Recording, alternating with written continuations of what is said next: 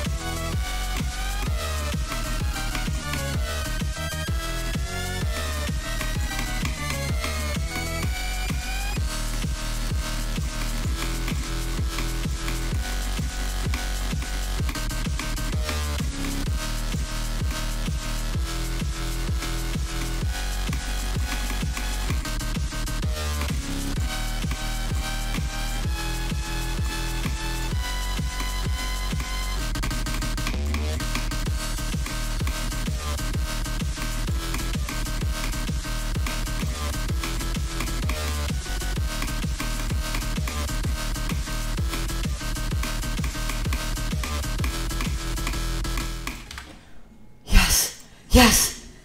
Oh my god! Holy shit! No way! I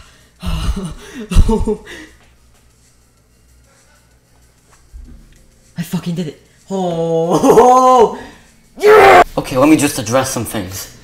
Uh, this level, I don't know, man.